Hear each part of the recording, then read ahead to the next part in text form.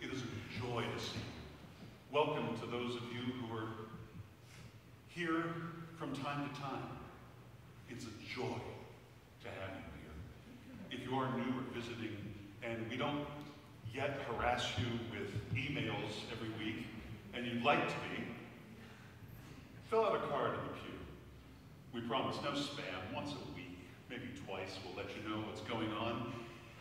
And if you'd like, if you'd like to begin to explore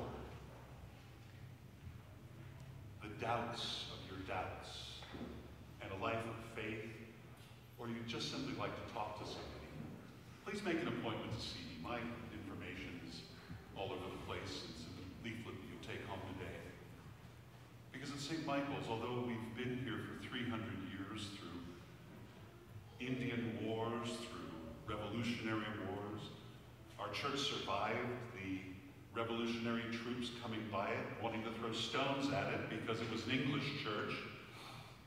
We have a proud and noble history here. And we're changing every day by the presence of you. Help us to know what you need here in this community and in a community of faith so that we can continue to become the church you need us to be. I, I, I, I should be shocked thank Daniel and the choir for all of the work you've done this week and through the year. You lead our praises with song.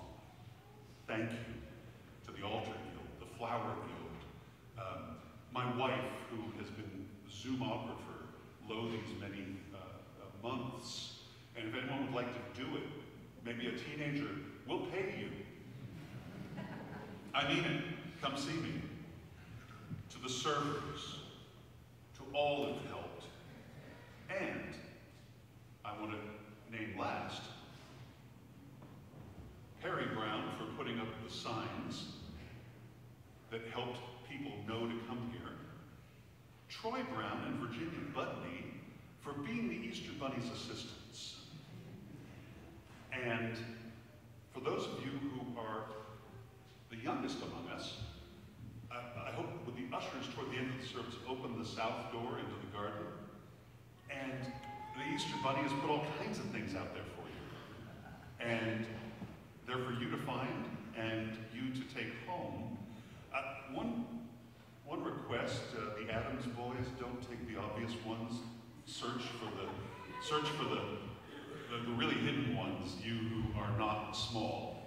And the brown girls. You leave the obvious ones for the little ones, okay? All right. But do take them.